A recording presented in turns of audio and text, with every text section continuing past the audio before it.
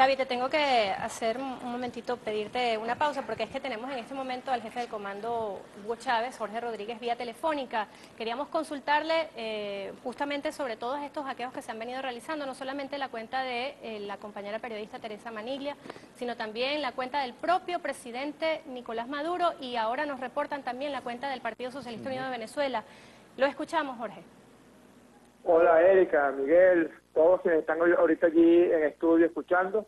Queremos denunciar que hace pocos minutos fue hackeada por inescrupulosos, por aquellos cultores de las campañas sucias, campañas sucias elaboradas desde Bogotá, campañas que han enlodado y enturbiado el panorama electoral o han intentado enturbiar el panorama electoral, pues fue hackeada la cuenta de nuestro presidente, el candidato de la patria, el hijo de Chávez, Nicolás Maduro, la cuenta del Partido Socialista Unido de Venezuela y la cuenta de nuestra hermana, la periodista Teresa Maniglia. Eso no expresa más que una inmensa desesperación.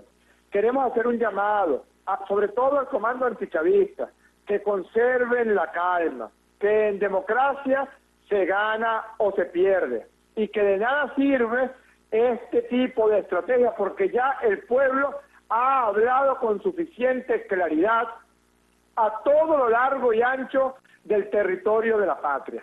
Por los cuatro puntos cardinales ha venido escuchándose con inmenso regocijo la voz del pueblo de Venezuela. Estamos cerca de una participación récord en esta elección, como récord fue la participación de la elección del 7 de octubre, en la que el pueblo de Venezuela eligió por una aplastante mayoría a nuestro comandante supremo Hugo Chávez. Todas esas tácticas no expresan otra cosa que no sea desesperación, desesperación de quienes no tienen votos, desesperación de quienes no creen en la democracia, desesperación de quienes ven la política como una forma artera de enlodar cualquier panorama que en este momento se está presentando en el evento electoral. El pueblo se ha comportado de forma cívica. El pueblo de Venezuela ha dicho a todo lo largo y ancho del territorio de la patria que quiere paz, que quiere democracia, que ningún tipo de táctica de estas sucias que han venido dirigiéndose desde Bogotá con la anuencia del candidato antichavista va a torcer la voluntad del pueblo. Y a todos nos corresponde reconocer el resultado electoral, pero sobre todo respetar la voz del pueblo de Venezuela. Así que si esta es una más de las estrategias que venimos denunciando y probando que estaban ocurriendo, no va a tener ningún resultado porque nada va a torcer la voz del pueblo de Venezuela. Erika Miguel. Una de las cosas de las que estábamos conversando aquí justamente con Miguel Ángel Pérez Pirela eh, tiene que ver con lo que demuestra este tipo de eventos. Usted dice eh, son un acto de desesperación. Eh, ¿A cuenta de qué se están hackeando estas cuentas? Y usted dice que se están realizando este tipo de eventos desde Colombia, desde Bogotá. ¿Alguna respuesta del gobierno colombiano sobre este particular? Porque la denuncia se está realizando desde el día de ayer.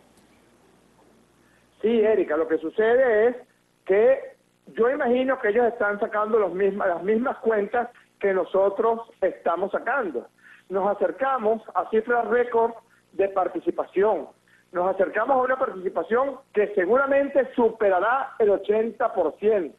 Por otra parte, ellos estuvieron hablando de avalancha, el comando antichavista estuvo hablando de avalancha sin darse cuenta que nosotros vivimos en una zona tropical y las avalanchas son de nieve, puede haber avalanchas en Aspen, en Suiza, en Colorado, pero aquí en Venezuela se derriten. Y yo creo que eso fue lo que ocurrió, que el calor del pueblo de Venezuela, que el amor del pueblo de Venezuela por su comandante supremo Hugo Chávez derritió la supuesta avalancha. Y ahora están sumidos en la desesperación más absoluta. Les recomendamos tranquilidad, calma, cordura, Respeto a la voz del pueblo de Venezuela. Nada va a cambiar lo que ya ocurrió.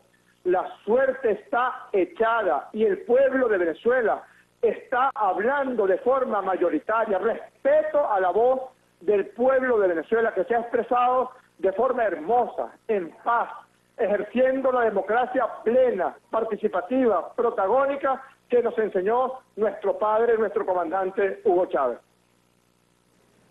Otra de las preguntas que teníamos que hacerle tiene que ver con el mismo proceso de escrutinio que se estará, o de totalización que se va a realizar dentro de unos minutos, siempre y cuando, por supuesto, no haya electores en los centros de votación esperando por eh, ejercer este derecho.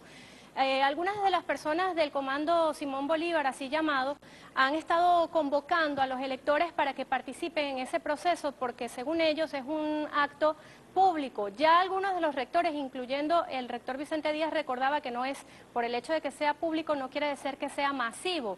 ¿Cuál debe ser la actitud de los electores el día de hoy, eh, alcalde?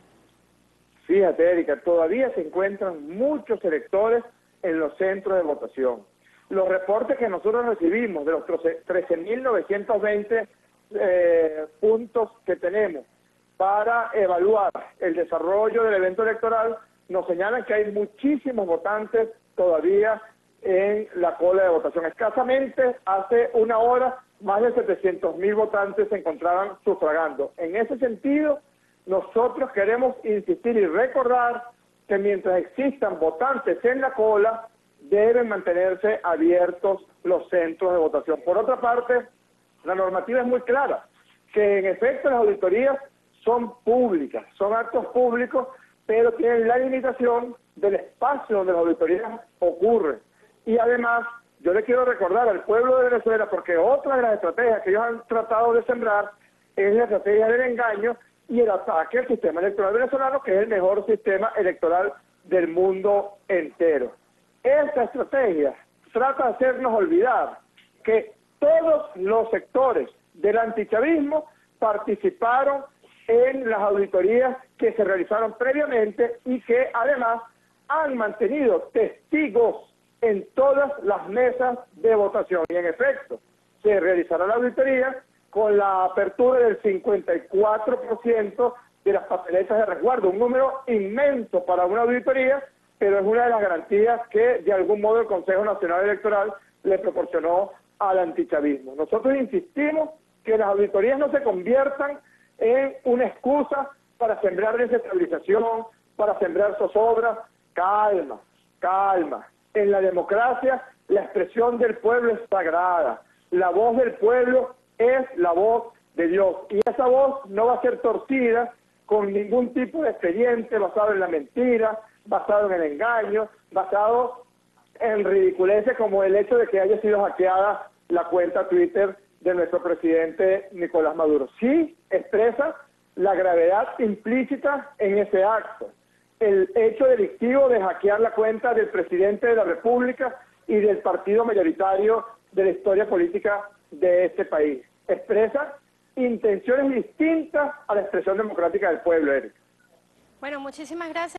Era, el alcalde Jorge Rodríguez, por supuesto, informando todo, todo lo que tiene que ver con este hackeo de cuentas eh, en las últimas horas, no solamente la cuenta de la eh, directora de prensa presidencial, Teresita Maniglia, sino también la cuenta eh, Twitter del Partido Socialista Unido de Venezuela, la propia cuenta del presidente y hoy candidato de la Revolución Bolivariana, Nicolás Maduro Moros, y me informan también la cuenta, o más bien la página web del candidato que eh, ha sido también hackeada.